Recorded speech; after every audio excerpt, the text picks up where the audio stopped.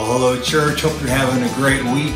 We're already into June. It's kind of crazy how fast this year is going. And it's also crazy that we're already finishing our teaching series, The Bible Doesn't Say That. This Sunday, we're wrapping it up with a look at money.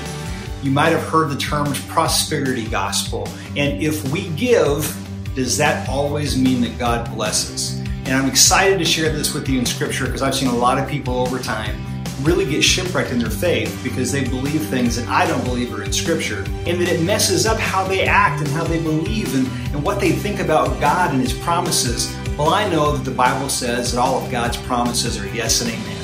And I found that to be true in my life, that God always keeps His word. So join us this Sunday as we look into what the Word of God says about our giving, God's blessing, and how obedience and faith and all of that is tied together. Can't wait to share it with you. See you Sunday morning.